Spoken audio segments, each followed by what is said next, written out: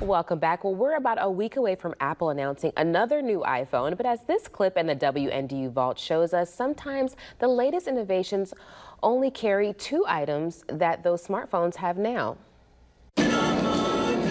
This won't pay for your gas nor your dinner, but it could provide you entertainment. It's a radio, the lightest, thinnest on the market, not to mention a calculator as well, and just one of the many new gadgets introduced this week at the Summer Consumer Electronics Show in Chicago. And what a fantasy land this is. Here you can find a watch that can store all your important telephone numbers. World Book Encyclopedia is showing off brand new educational software for children as young as three years of age.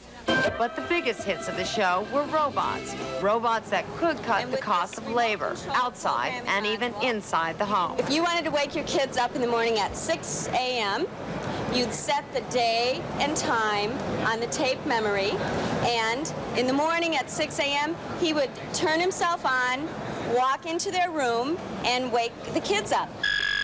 Okay, you kids, get up. This is the last time I'm going to tell you. Get up, you kids. Come on, get out of bed. In Chicago, Erin Moriarty for NBC News.